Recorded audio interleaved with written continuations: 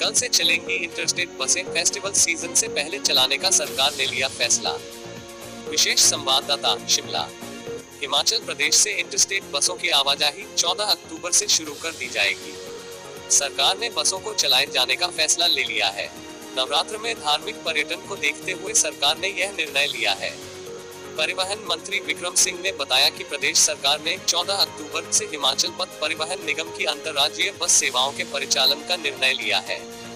प्रथम चरण में 25 रूटों पर अंतर्राज्यीय बस सेवाएं आरंभ की जाएंगी इनमें चंडीगढ़ पठानकोट बद्दी होशियारपुर लुधियाना अम्बाला हरिद्वार इत्यादि प्रमुख है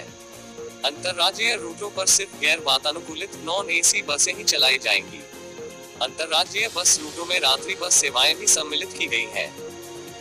उन्होंने कहा कि नवरात्रों और त्योहारों के मद्देनजर लोगों को सुविधा प्रदान करने के दृष्टिगत प्रदेश सरकार ने यह निर्णय लिया है पिछले कुछ समय से आम लोग भी अंतर्राज्यीय बस सेवाएं आरंभ करने की मांग कर रहे थे उन्होंने कहा कि शीघ्र ही अन्य राज्यों के लिए भी अंतर्राज्यीय बस सेवाओं का परिचालन आरंभ किया जाएगा परिवहन मंत्री ने कहा कि अंतर्राज्यीय रूटों पर बसों के परिचालन के लिए कोरोना वायरस से बचाव के लिए सभी दिशा निर्देशों का सख्ती से पालन सुनिश्चित किया जाएगा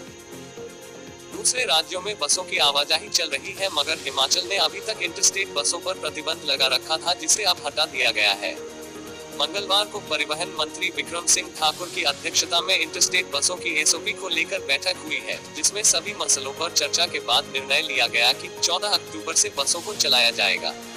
परिवहन मंत्री विक्रम सिंह ने बताया कि कुछ विशेष क्षेत्रों के लिए बसों को चलाया जा रहा है और जो एसओपी बनाई गई है उसका पूरी तरह से अनुसरण किया जाएगा इस मामले को अब कैबिनेट में ले जाने की जरूरत नहीं थी क्योंकि कैबिनेट से पहले ही निर्णय हो चुका है केंद्र सरकार ने भी इसके लिए कहा था मुख्यमंत्री से बात करने के बाद यह निर्णय ले लिया गया है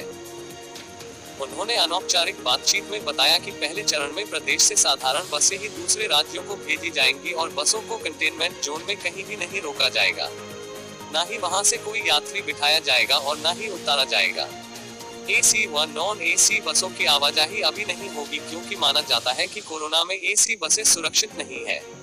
उन्होंने कहा कि पहले चरण में ऑक्यूपेंसी को भी देखा जाएगा जिसके आधार पर उन क्षेत्रों के लिए बसों की संख्या को निर्धारित करेंगे चंडीगढ़ व हरिद्वार के लिए सबसे ज्यादा डिमांड है जहाँ के लिए बसे शुरू कर दी जाएंगी उन्होंने कहा कि प्रतिबंध हटने के बाद दूसरे राज्यों से भी यहाँ बसें आ सकती हैं।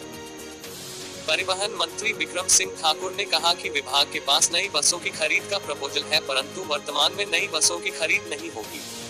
जो फ्लीट अभी मौजूद है उसी से काम चलाया जाएगा